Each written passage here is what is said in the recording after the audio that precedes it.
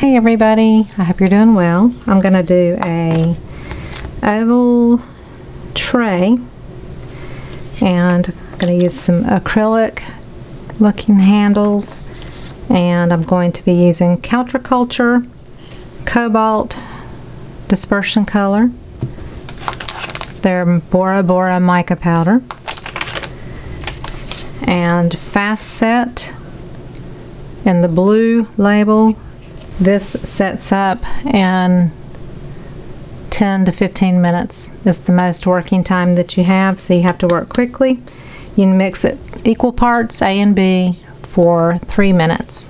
So right now I've got my first part of the epoxy in my cup. I do part B always before A. It's just, it's the thinner of the two, and that's true for any viscosity of resin. So you always put the thinner in first and then the thicker one into it. It just mixes better that way. You have a more successful chance of it curing properly. Just a better mixing ratio overall. I've got my timer set for three minutes when I am ready to go. So anytime I use cups, I uh, will mark it as you see, I've got a little mark there with a Sharpie, so I know that I'm pouring equal amounts of each part, which is very important.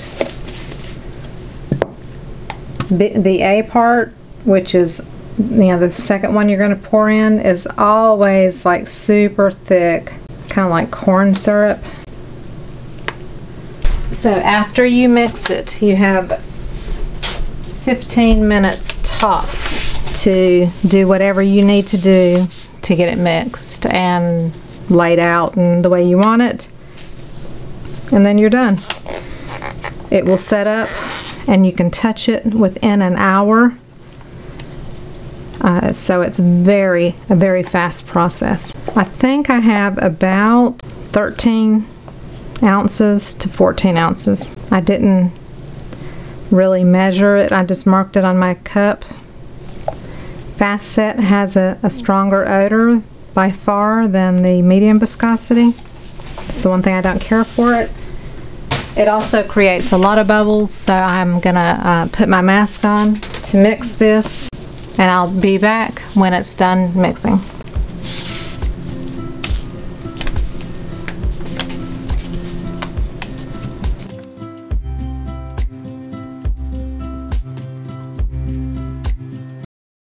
Okay, now I'm going to switch my timer to a stopwatch and hit start. And this makes sure that I know exactly how much time has gone by since I've mixed the resin. This is important to keep track of when you're using fast set. We're not doing anything like um, floral or anything like that, but I do want to keep an eye on the time. The other thing is I'm going to set my handles in before it gets hard and so that's why I have to have my timer going so I can keep an eye and know exactly how much time has passed. I hope you can hear me. I still have my mask on and I have goggles on. The bubbles in this resin are a lot more and little tiny micro bubbles will float up and so it's important to wear safety protection when you're using any kind of resin, even if it says it's non-toxic. Those little bubbles can go into your lungs, into your eyes, and resin hardens after this chemical reaction. And you do not want any chance of that happening inside your body.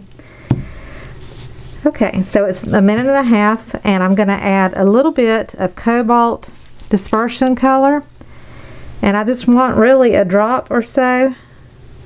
You have to pour very carefully because this will come out really fast.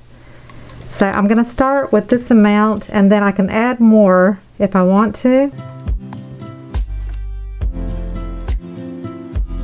So that's good, but it's very, very transparent as you can see. So I want it to be pretty opaque. So now I know that I can add at least as much as what I put in before, maybe a little bit more. So right now I've probably got about 13 or 14 ounces of resin. And in the tray, I do not want to fill it all the way to the top because I'm going to embellish it with acrylic paint. I don't want to fill it to the top because after I paint it, I'm going to put a flood coat on inside of the mold. Once you take it out of the mold, it's so much harder to flood coat. It's much easier to do it when you have it in a mold.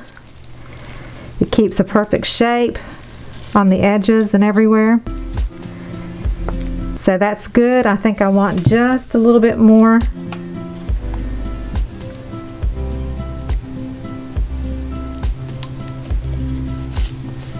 You also could add, you know, Bombay inks or another colorant. I just, uh, I'm showing you everything with counterculture products today.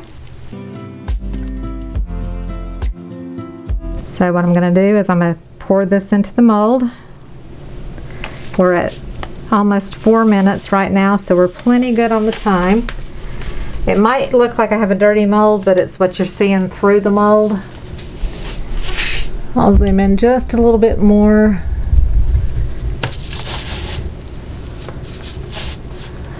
This is kind of a oblong shape. And it came with handles but I'm I don't want gold handles which is what it came with. So I'm using my own acrylic ones. So again I don't know how much I need but I just know that I need to stop when I see that the mold is about maybe two-thirds of the way filled up. So I'm just I'm actually sitting down so I can see how deep it looks. And that right there is pretty close to what I want. So what I'll do is just take the leftover resin, add it to a mold. And I want to save about an ounce and I'm going to add a little Bora Bora. I'm just going to get a little a little scoop, one of these little scoops like this. Just I don't know where I got it. It came with a something I ordered. So this will make a really beautiful shimmery effect in what's left in the cup. And I don't know if what this is going to do because it does cure fast, but I'm going to go around the edge. It's at almost eight minutes right now. I'm going to go around the edge of this coaster off to the side, which you can't see much of, but it's the same principle.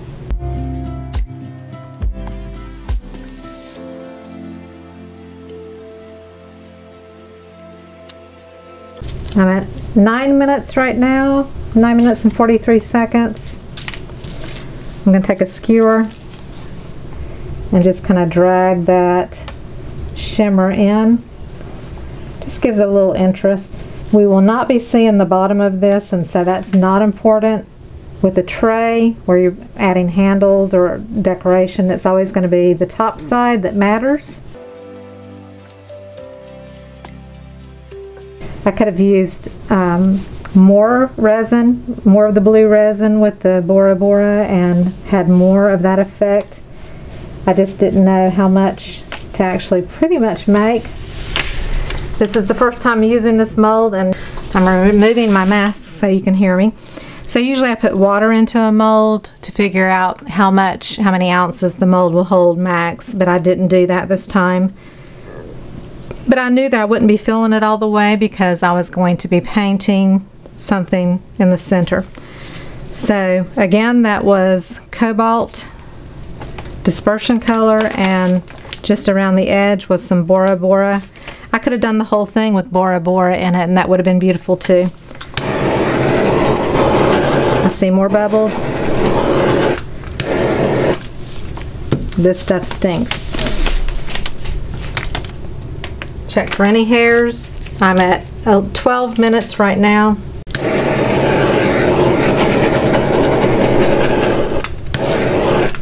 The other thing you can do for bubbles is you can spritz with alcohol.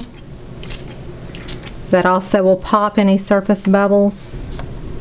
I'm going to cover this.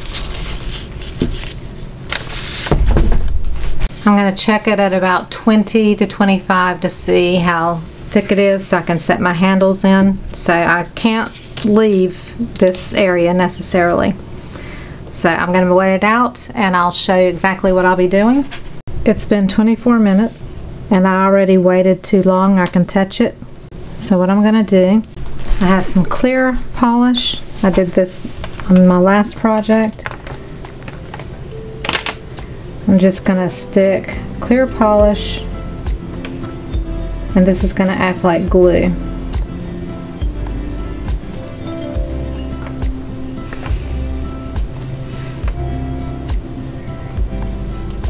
The thing with fast set is it works fast and you can feel the heat from this coming up.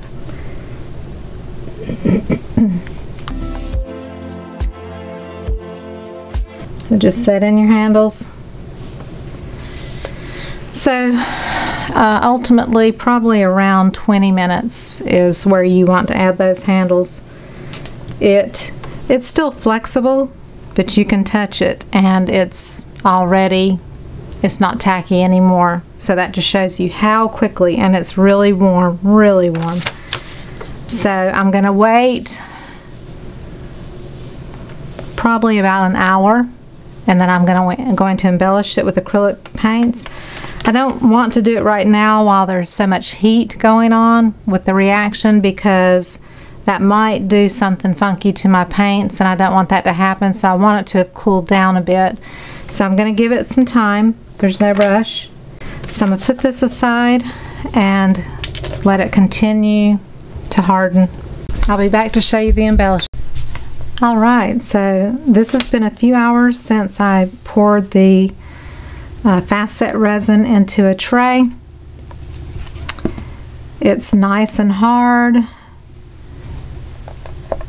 I'm going to do a little bit of artwork on it and I have one coaster and you can see maybe slightly how the um, mica, the Bora Bora mica kind of went inwards and it's done the same thing on the tray. It's just very very faint. I don't know if you can see it around the edges.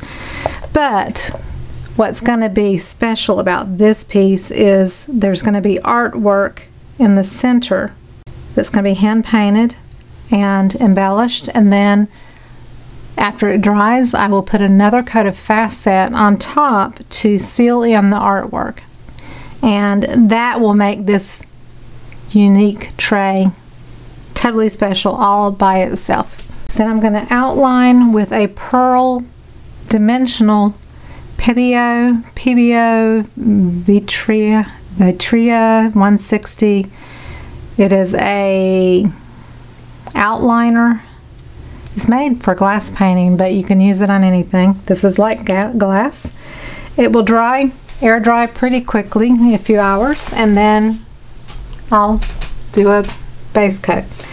So, if you can, I would typically freehand this, but I want to show you how I sometimes do something let's say you find something on Google Images and you print it out uh, black and white and I've used this pattern multiple times the old-fashioned way of transferring anything is just to, to, scrub a pencil on the back and that puts the carbon on the back side of the piece and so typically I would do three flowers this time I'm just going to do two and you press firmly with a pin, lift up and make sure you can see your line. And I'm just going to go basically around the shapes.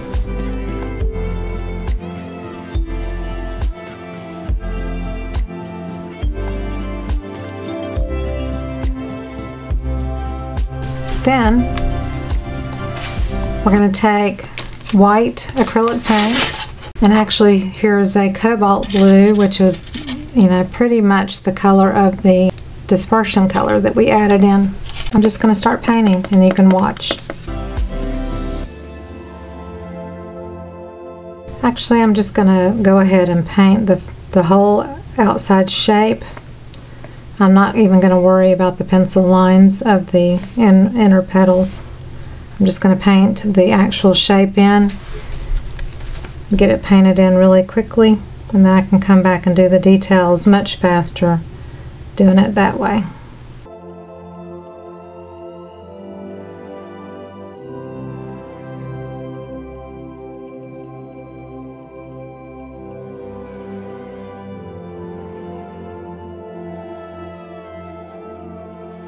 So I'm actually going to put some uh, Prussian blue on the plate.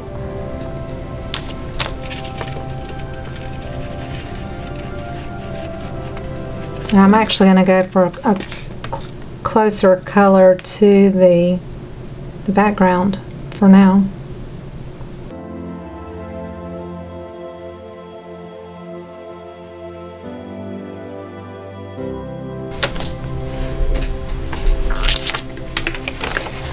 So now that it's base coated, we could go back and we can put the flowers back down in the general vicinity.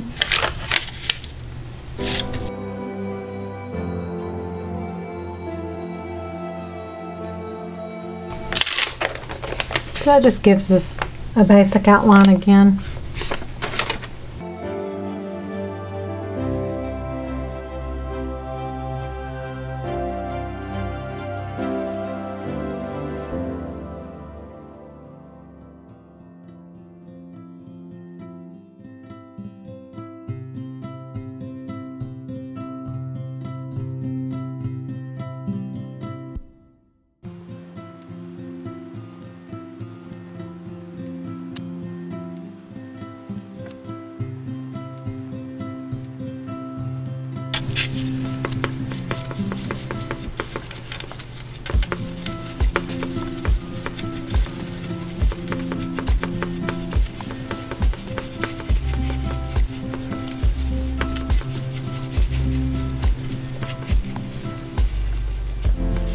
It's almost just like resin. It's going to be a clear, transparent thing. And I can brush that Bora Bora anywhere I want to to give it that shimmer.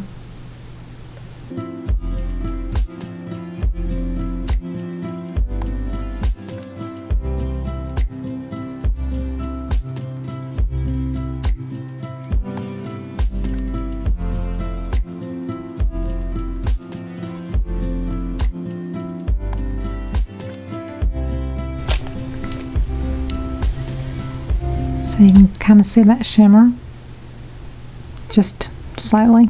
So now we're going to take the pearl and outline everything. And this will give it definition.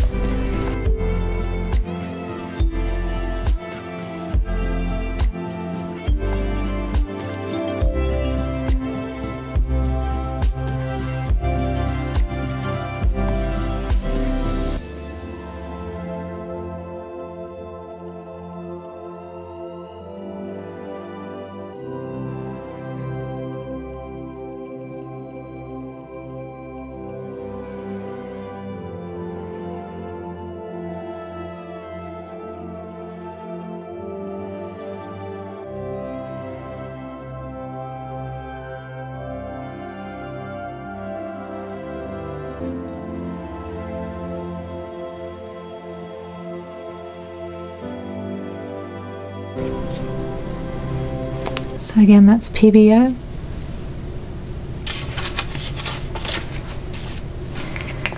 I used um,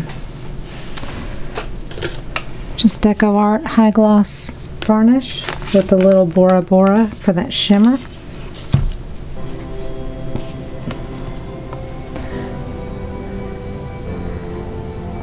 And you have a hand-painted piece pretty quickly. You can keep it much more simplified. You can be more loose and make it color, make it colorful. So the sky is the limit as to what you can paint on it. It can be impressionistic, it can be realistic, it can be funky wow. You could totally go around the edge and do a design uh, with the dimensional paint. It's up to you. Once it's dry, you can kind of scrape off anything with your fingernail that, you know, maybe goes over the edge. Um, I'm going to let this dry well, and I'm going to make sure I have all the pencil off of it, because I can see some little shimmer of pencil underneath around the edges, so I'm going to wait to do that after it's totally dry.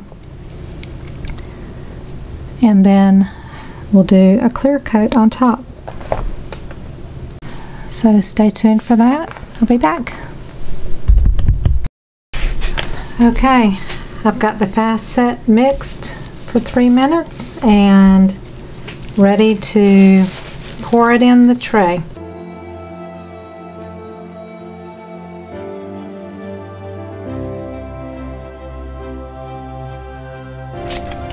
Spray it with alcohol and cover it up. I'll be back in an hour or so to unmold the tray.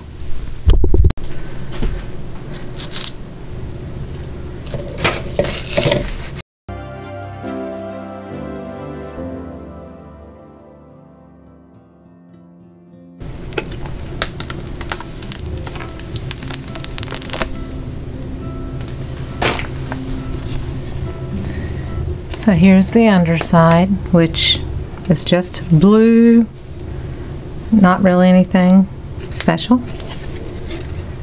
And it is a little bit see-through as you can tell. So I could have gone, I could have really added that um, more Bora Bora into the whole thing and the shimmer would have made it less see-through or more colorant.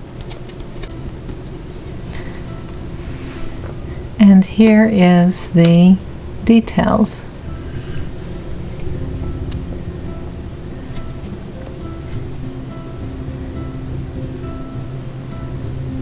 So you can see the blues, the shimmer.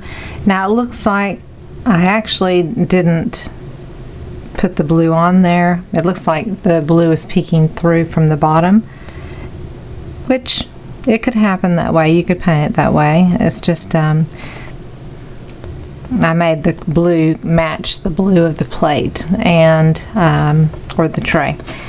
you can also, you know, apply Cricut vinyl and you can do um, laminated stickers or anything else that you want to do. If you're if you're not a painter, you can do so many different things. You could decoupage something in here and let it fully dry and seal it in between something paper wise and then resin coat it and have something really beautiful. So there's so many options when it comes to what you can do as far as embellishment goes. So here's this tray all done with fast set and acrylics and some acrylic handles and it's ready to roll and rumble. I hope you enjoyed this video. I hope you learned something and I will see you on the next video. Make sure to check out all the links below the video. I share all the products that I use and there's different groups that you can join in Facebook, especially my Facebook group, Sandra Lett's Share Our Acrylic Fluid Art and more. And the latest group that Heather Mader and I made, uh, created is Art Healing Hearts Auctions. And that is a group that is going to expand and grow continually and we hand select 10 or so artists every few months to do an auction and we uh, it's just to put artists and potential collectors together, to combine people together across the country to share art in a healing, loving, and beautiful way. And there is a commission for the artist to participate. It's very small compared to a lot of galleries and so forth. And if you're interested in applying as an artist for this auction, go to www.arthealingheartsauctions.com to apply and also for anybody to sign up for the newsletter for our next event. Come join us. Thank you so much. Love you all. Bye bye.